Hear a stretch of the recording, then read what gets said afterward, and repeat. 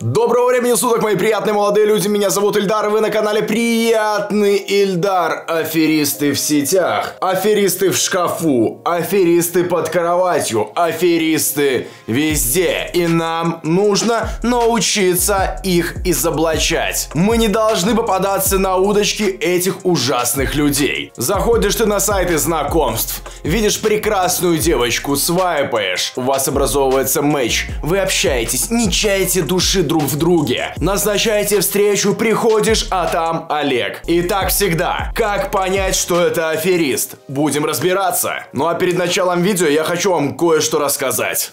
На меня недавно вышли ребята из зоны 51, которые занимаются креслами премиум уровня по доступной цене.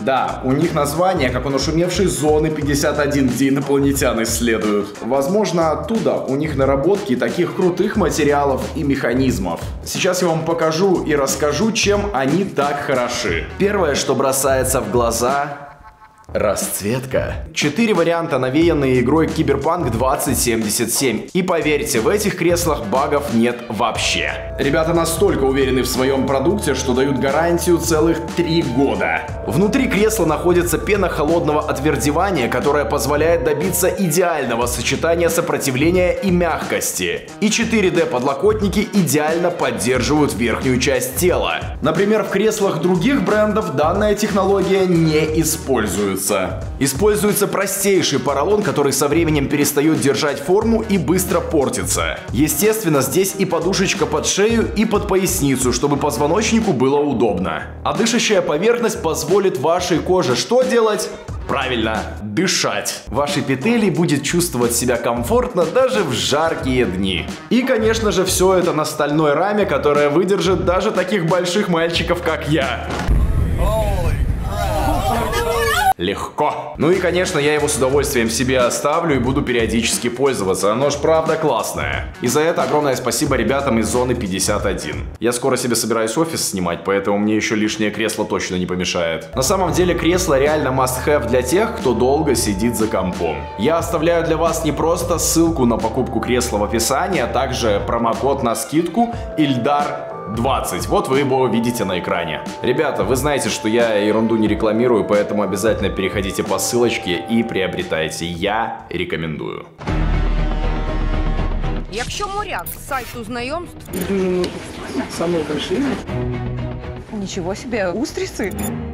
Это ж моряк с сайта знакомств. Человек хотел показать, что разбирается в высокой кухне. А может быть это просто какие-то знакомые устрицы? И они примерно в одно время в порт пришли, он их выловил и как бы решил таким образом подставить тебя. Для того, чтобы устрицы тоже решили на тебя напасть и изнасиловать. Я не... Что я несу? кличе на побачення, Кристина, что-то подсыпает в устрицу. Я же говорил, он с устрицами заодно. Сто процентов маньячела. це продовження ви не забудете ніколи.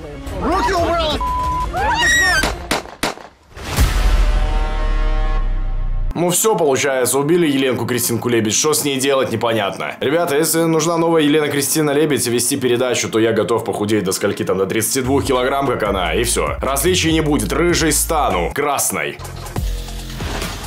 На годиннику 14.55 і я йду на побачення вперше в нашій практиці з моряком. Э, послушку, Саш, давай послушку. Давай. Я так понимаю, что им саундтрек Скриликс сам писал прямо. Музыка максимально нагнетающая соответствует выпуску. Камери в ресторані група встановила заздалегідь на столик, який на своє ім'я забронював мій моряк. Надеюсь, вы понимаете, что она говорит. Она говорит о том, что камеры установлены в ресторане, ну, вроде понятно, и на столике, который забронировал э, ее моряк. Буду переводить теперь. Знаете, теперь реакции с переводом. Ну давай заказываем. Я у тебя экономная, я буду салатик. Ты не переживай, все хорошо, можешь ни в чем себе. А видите, сразу за ручку такое, типа, я альфа, я обозначаюсь, все, ты моя. Самый главный лев в прайде, лапкой за лапку. Самые большие. Ну все, мені капець. Я ще не знаю, в чому там його афера, Ничего себе, устрицы. але здриснути мені хочеться вже зараз. Малокалорийные. Это хороший афродизиак. Афродизиак. Афродизиак. Афродизиак это, наверное, когда тебя садят в автозак, в камеру там один на один метр, и дают какой-то препарат, чтобы тебе не было так тесно. Автодизиак, афродизиак. Да, нормальная тема. Щось мені це нагадує. Устрицы, кстати, это очень хороший ав- автор... Автор... Автозоди... Афрозодиак.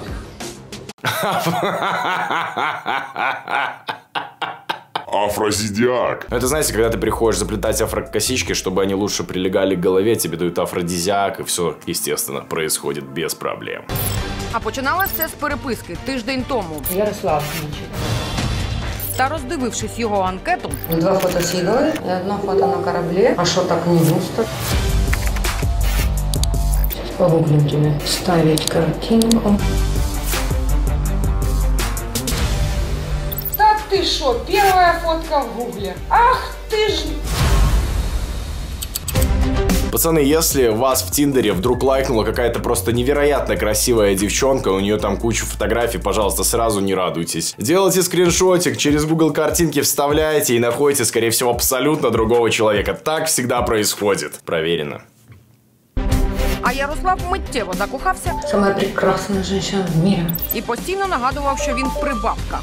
Что должна сказать? Рада за тебя, это отлично. Ты такой крутой перец.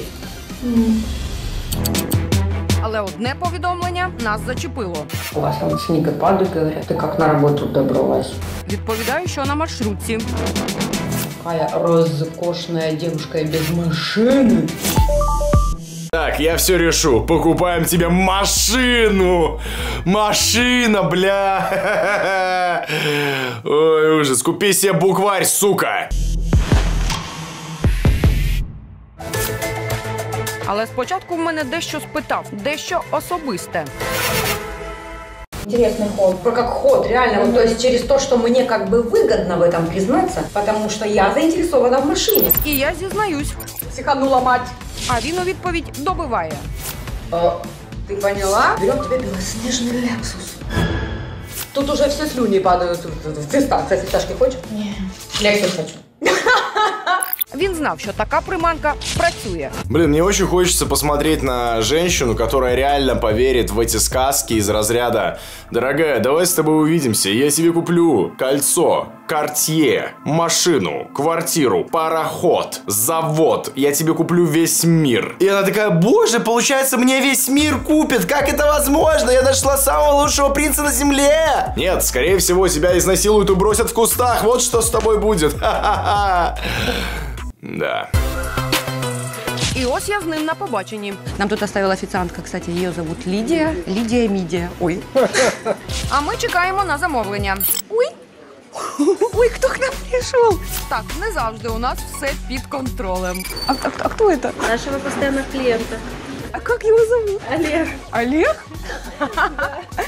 А чей это? А кто это? Так это нашего постоянного клиента. Такое ощущение, будто бы, знаете, типа, это абсолютно нормально, когда чужая собака подходит к каким-то людям, которые сидят, просто хотят пообщаться и вряд ли ожидают увидеть в ресторане собаку. Ну, только если там не место, куда с ними можно заходить. Ну да, тогда, наверное, да. Есть разные люди. Кому-то не нравятся собаки. Это факт. Собака подбегает к людям, которые сидят, общаются, кушают. И официантка такая, так это нашего постоянного клиента, все нормально, терпите. Что такое? Постоянный клиент важнее, чем вы на раз пришли. Пошлите. Але я вже знаю, як цим скористатись. Вообще он Олег Сергеевич. Вообще. Слушай, сфоткай меня с ним. Очень фотогенично. Я или Олег? Але справжня моя ціль не фотки. А ты тоже любишь собак, да? Да. А, а давай селфи втроем. Не-не, не надо. Я не люблю фотографироваться, на фотографиях плохо получается. Так, це була зайва перевірка. Аферисти не фоткаються на телефон жертви ніколи, аби не залишити там свій фейс як доказ.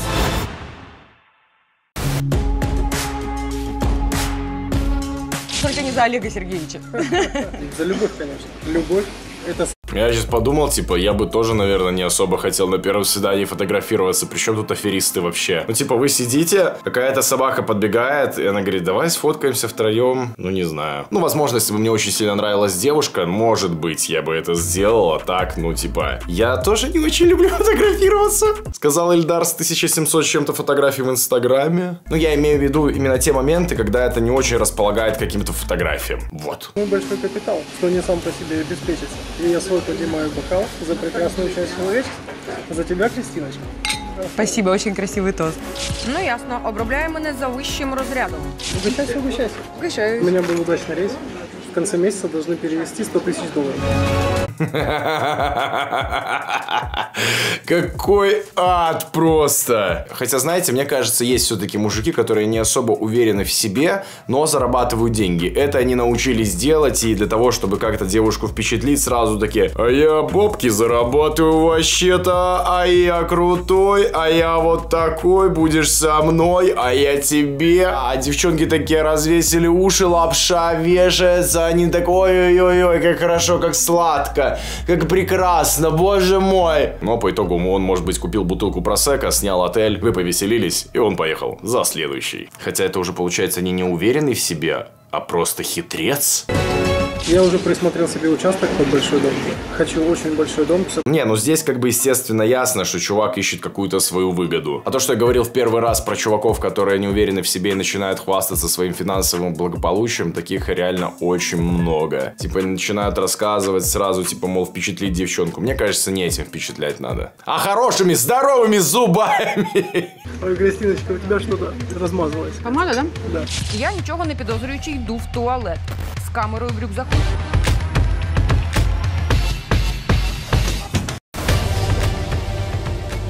Ничего не размазано. А ты не могла взять телефон и просто посмотреть э, в переднюю камеру? Это невозможно? Мне кажется, аферисты в сетях сейчас пытаются развести меня. Я вас скрою, как орешки об дверь. І тут на зв'язок виходить група, яка бачить камери з ресторану в онлайн режимі.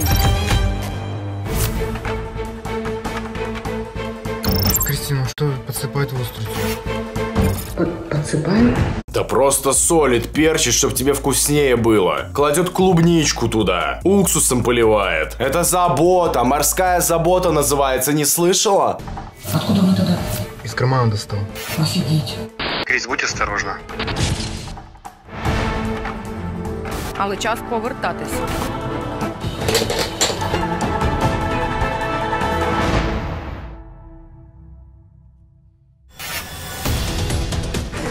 Я уже успел соскучиться. Я тоже.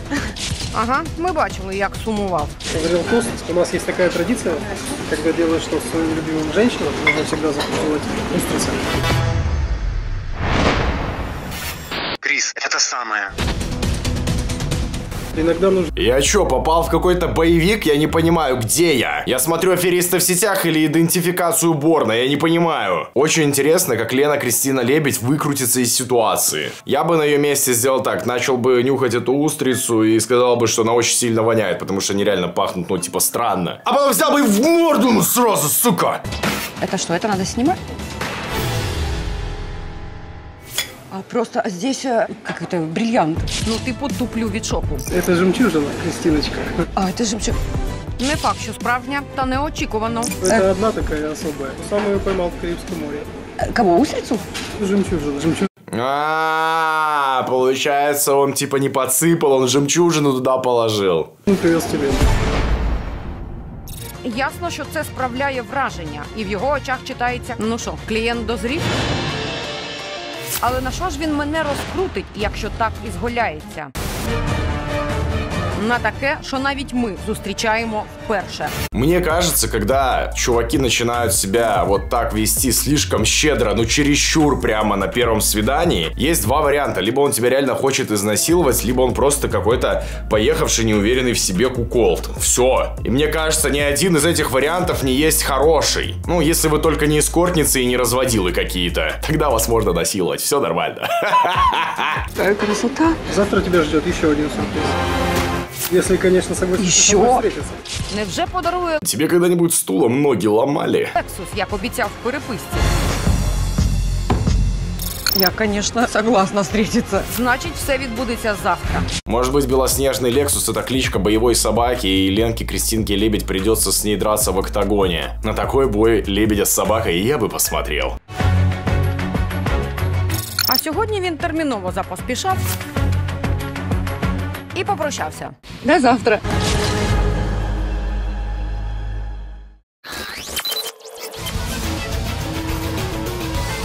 А ось і він.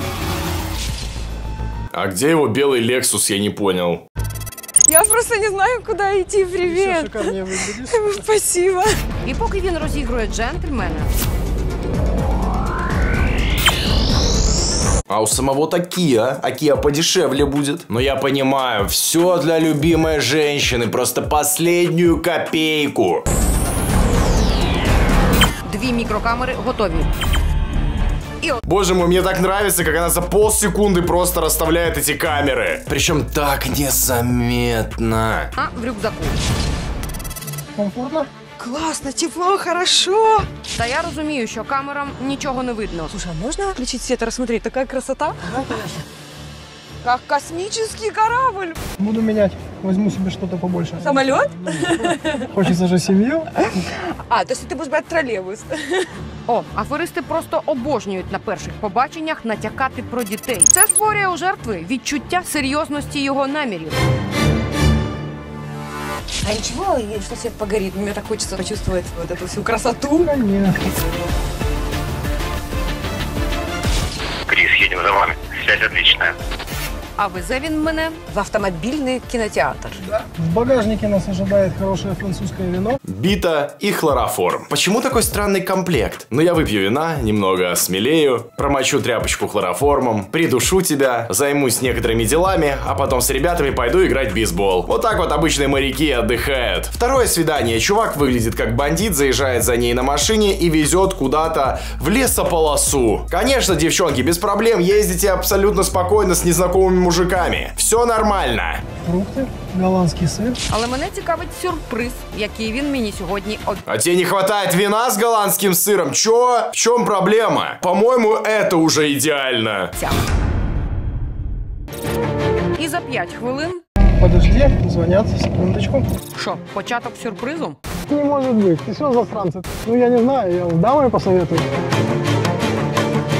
Не против, если мы заедем к моему брату? Племянники дверь забыли закрыть, куда-то у- уехали, а трубки не берут. Да, боже, ужас какой. Конечно, заедем. Все равно сеанс каждые полчаса начинается. Да, да, Там без проблем. договоримся. Ну, конечно. Да, братан, конечно, хорошо.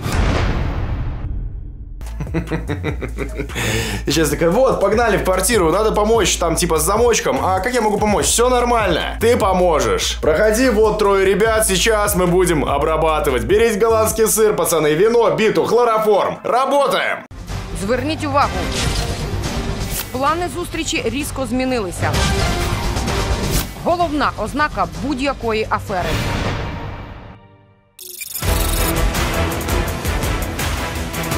А, а далеко ехать? Не, не, сразу здесь на выезде. Крис, едем за вами. Слушай, интересная каша заваривается. Тебе свет не мешает? Не, мне комфортно. Ты идеальный мужчина. А Сам знаешь, бы на себе женился, если честно. Чудово, світло горить. Смешно. Бо хто знає, коли він почне діяти.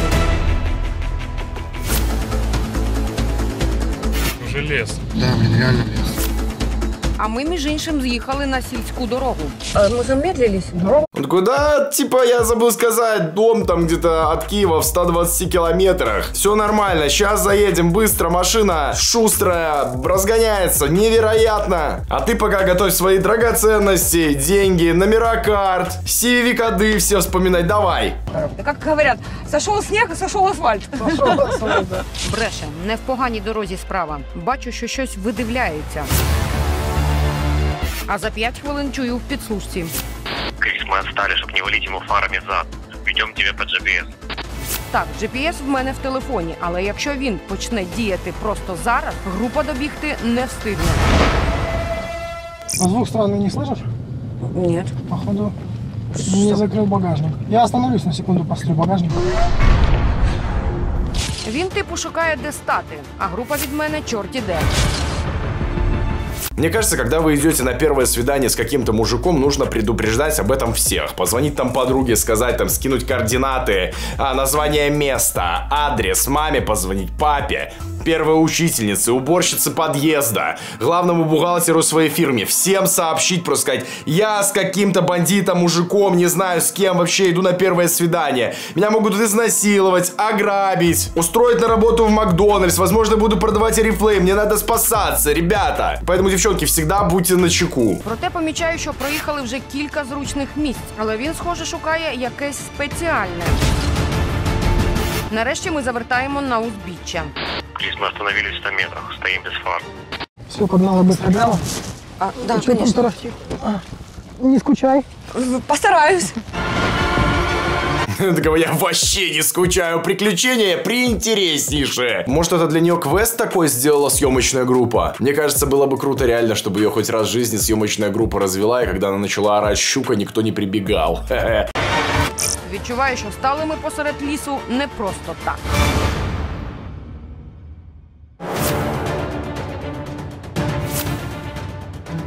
Оператори на всяк випадок виходять з машини. І тіло охоронці теж. Кстати, Крис, выйди на секундочку. Тут так совпало. С багажником все нормально. Там Да? Тут так совпало, что с багажником все нормально, а деньги до сих пор при тебе. Вот это совпадение, так что доставай бабки, дура. Как не надо машину? Никакой бабайки там нет. Не, нету. Беру рюкзак з камерою. Как те места? Э, м, Заснеженные. Примерно и здесь я хочу купить себе дом. Жду в конце месяца, когда переведу 100 тысяч долларов. Потому что уже этих денег очень не хватает. Не, ну места очень красивые. И брат просто- недалеко живет. Ні, не для цього ми стали. Місцевість у повній темряві. Взагалі нічого не бачу. Крис, осторожно, там кто-то вышел из леса. Оце так сюрприз. А вот и прораб мой идет. Будем сейчас вместе проект составлять, Крис. Тебя когда-нибудь в бетон закатывали? Сегодня в первый раз, я так понимаю. Что у нас тут?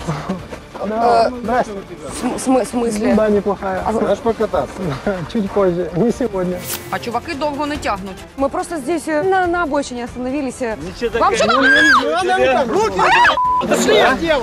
А чуваки не жартують. Ты чё? Ого, о. Ре- ре- Ребята, ну мы же никого не трогали, уходите.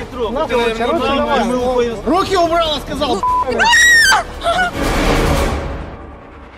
Я так понимаю, он остановился возле обочины, чуваки подошли типа ее ограбить, а он такой весь из себя защитник, они ограбят, и все, и получается две жертвы, и мужик этот абсолютно не при делах. Вони дістали пістолет. І направили пістолет мені в голову. Мне в голову! Ой, его смешно. Крис, щука! Рано щуку. Неясно до чого це все.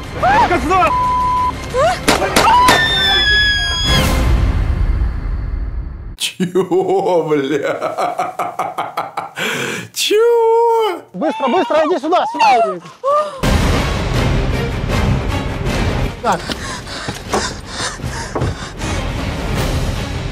Крис, ты цела?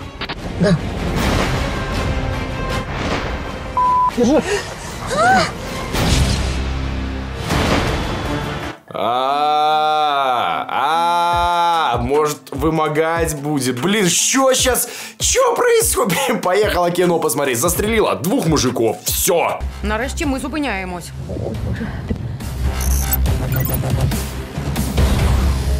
Стоп, смотри, ты, ты видишь это? І тут в підслужку на зв'язок виходить група. Крис, ты, ты не поверишь, тут хрень какая-то происходит. Від почутого втрачають дар мови. Ну я так понимаю, что какая хрень? Они просто встали и пошли. Это же инсценировка была, ну. Але вигляду не подаю. Хай думає, що все йде за його планом. Может, м- надо вызвать скорую и, и по- по- полицию. Ну, Сейчас я буду все решать, все, молчи. Боже, а кому мы звоним? Может, У меня полицию? знакомые в полиции. Димон, привет. Пистолет не зарегистрированный. Два дебила каких-то напали, я с девушкой. Я, блин, выстрелил наугад. Ни хуя где они взяли, из леса вышли, я не знаю. Да, это за городом примерно, тут, не знаю, лес, заповедник какой-то. Як не знає, де ми? Тут же десь брат живе. Да я вообще на ровном месте попал. Да понятно, бабки есть. Если что, решай, называй любые суммы. Я, я не хочу возвращаться. Я уже отъехал нормально. Хорошо, все, на связи, тогда жду. Ш- Что нам сейчас делать? Завтра надо вернуться посмотреть, что с этими дебилами. Повернутись на що? Мало ли, не выходи там из машины. Невже там ще один сюрприз?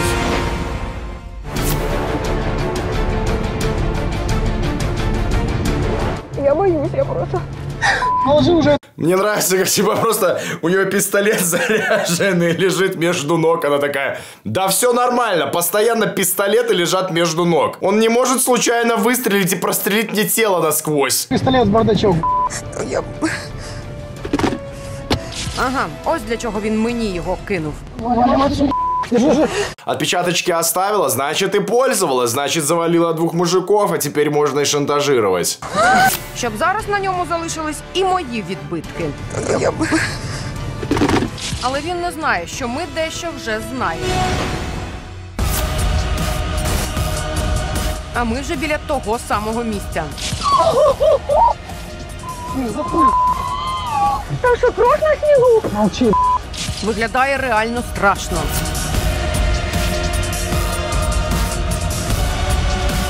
Крис, он подошел, посмотрел, идет к тебе. Два трупа. Вот это бабандос. І ми кудись їдемо. Так а что делать? И куда мы едем? Мне вот интересно, он сейчас начнет ее шантажировать, если скажет, что у меня нет ничего. Что она будет делать? Он такая, ну ладно, да, посуду мой по пятницам хотя бы у меня дома. Она такая, ну ладно, окей, все. Мог бы сказать, я бы и так это делала. Типа, не надо было двух мужиков убивать. Он такой, блин, реально? Реально можно было не убивать, блин. Але бачу, що він точно знає, куди їде. Ага, якась парковка. Сейчас будем деньги решать. Деньги всегда все решают. Ты понимаешь, на кону 25 лет. Ты хочешь в тюрьму? Каких 25 лет? Ну, 25 мне дадут, тебе 20 дадут по-любому. Ты соучастница. Ну я же ничего не делала. Я тоже ничего не делал, я тебя защищал. Теперь там два трупа. Из-за тебя. Ясно, і вмикає почуття вини. І крути мене тепер як хочеш. Как все не кстати. И деньги только через месяц придут. Все, под...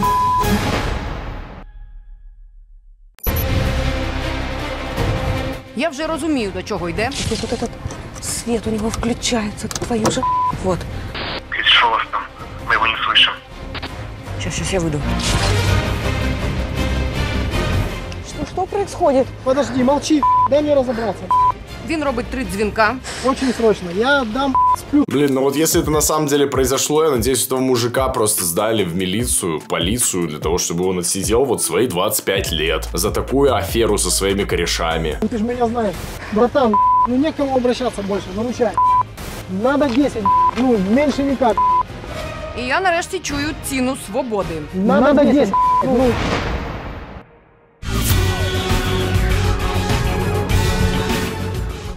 Надо решать вопрос за деньги. Я не могу накружить, только пятерочка. Надо 10 минимум, приз. Я типу туплю від стресу. 10 чего? Это 10 штук баксов. И деньги только через месяц будут. Ну да, це ті 100 тисяч. У меня был удачный рейс. В конце месяца должны перевести 100 тысяч долларов. Які в нього ніби є, але зараз нема. Я не знаю, сколько у нас времени есть. Час, два. Она такая, да-да-да, сейчас продам свое пальто, это драпированное какое-то. У меня тут кофточка из Бершки есть и башмаки из Зары. Все, 10 тысяч есть, готово. У кого-то взять можешь? Да я никого не знаю, Ты кому мне я говорила могу... на машину купить. А от тепер все ясно. Ну, ну, ну Ты да. понимаешь, что на кону стоит?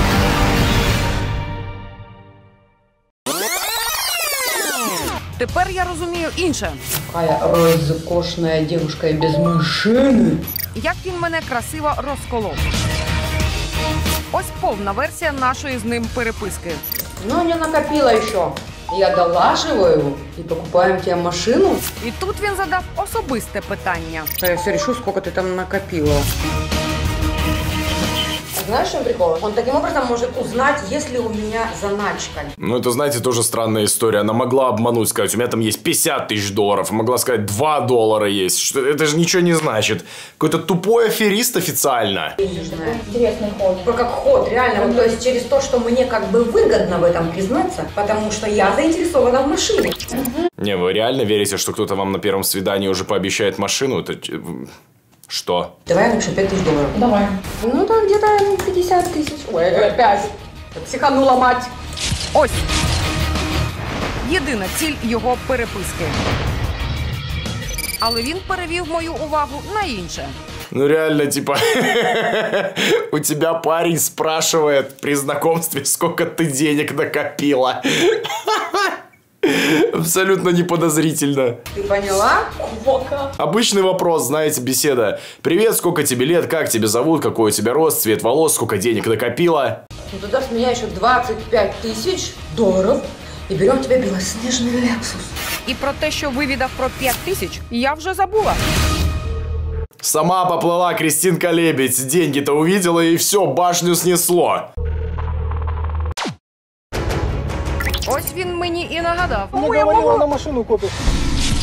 Ну, ну, ну, ну Ты да. понимаешь, что на кону стоит? Я уже ничего не понимаю. Участница, двойное убийство, пистолет не зарегистрирован. Хорошо, у меня друзья есть в органах. Я, Я щас я куплю тебе новую машину, отдам еще твою пятерку. Все будет нормально. Він точно знав, що сьогодні зірве куш. Надо ехать за деньгами. Хорошо, хорошо. Быстро тогда тулим к тебе. Крис, отъедьте чуть-чуть, мы здесь не сможем подобраться незамеченными. Парковка просматривается. Все, погнали.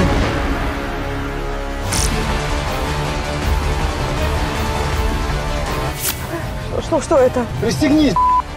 Тепер головне зупинити його для захвату. Крис, дай нам еще пять минут. И как они собираются его остановить? Колючую проволоку под шины бросят или что, я не понимаю. Все, Крис, давай, тормози его. Господи, мне что-то плохо. Все решим. Да нет, меня так тошнит. Это стресс, наверное. Боже, Только не в машине. срочно встань! Срочно! Быстрее! Все, они заворачивают.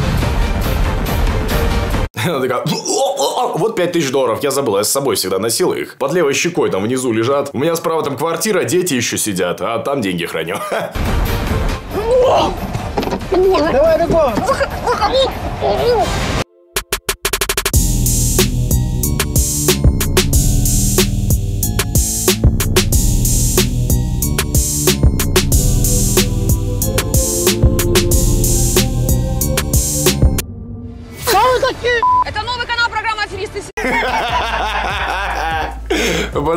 каждый раз эту историю, там типа, чувак, я планировал эту аферу 20 лет. Я убил 48 человек, которые не смогли отдать мне деньги. И тут в конце, это новый канал! Программа «Аферисты в сетях».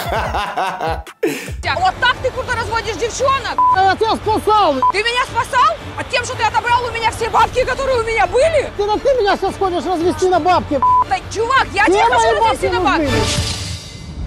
нужны. Хорошо, сейчас тебе будет сюрприз. А, да, а где эти бессмертные друзья? Привести? Да, давайте, давайте.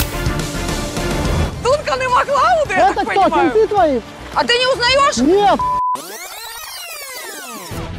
А мав би, адже розіграли мене спільно. А як тільки ми від'їхали, Стоп, смотри. Ты, ты видишь это? Воскресли. Саме це я й почула в підслужку. Крис, ты, ты не поверишь, тут хрень какая-то происходит. Какая хрень происходит? Чувак просто развел инсценировкой смерти своих друзей Ленку Кристинку Лебедь. Ну и все.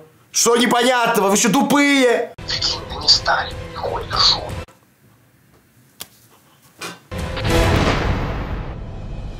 Хоча, коли ми повернулись другий раз, Ярослав побачив, Два трупа. Вот, вот это бабандон. хоча полежати група їм не дала.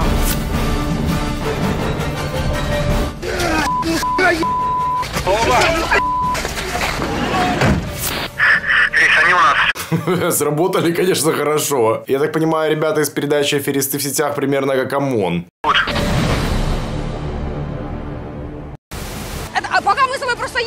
ребята воскресли. А отут він змовчав. Смотри, что я нашла на обочине. Что это такое? Что ж они разливали под себя? Блин, а что это такое? Ну это, ну кровь, открой. А ну покажи мне. Не, я не понимаю, может томатный сок, кстати, представь. Мне в темноте чем? ничего... Она такая сразу такая... Ой, с фоточкой, кровавая Мэри, как я и хотела, нормально. Ах, зачем вино меня поила? Предложила кровавую Мэри огурцы, ну... Не было видно. Пахнет кровью обычно. Не пахнет? Не пахнет. Как, вы понимаешь, кровь дорогая, томатный сок, Оля. Який на білому снігу виглядав дуже переконливо. В общем, спасибо за кино. Вот вам Оскар. Засуньте его себе в...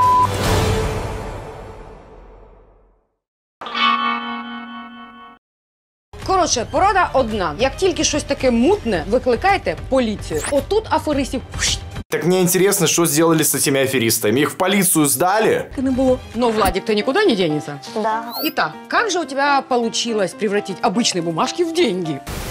Так, я так понимаю, пропустил какой-то фокус. Загнул Хайлайты от Владика. бумажки. Ну, это деньги. Ну, в принципе, если для тебя это бумажки. Бумажки положил типа вот сюда. Да. Загнул деньги. А давай на мне.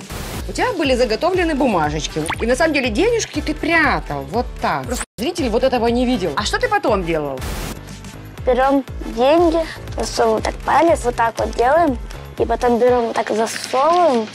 А, я поняла. Благодаря тому, что ты пальчик засунул между купюрами, так шух, одним движением веер. Да. Слушай, ну классный фокус. Классный фокус, Владик. Спасибо Еленке Кристинке Лебедь за то, что она все-таки нам рассказала про очередной способ аферы. Было интересно смотреть. Если вам тоже, ставьте лайк обязательно этому видео, и мы посмотрим еще некоторое количество разоблачений. А с вами был, как всегда, приятный Ильдар. Подписывайтесь на канал. Пока.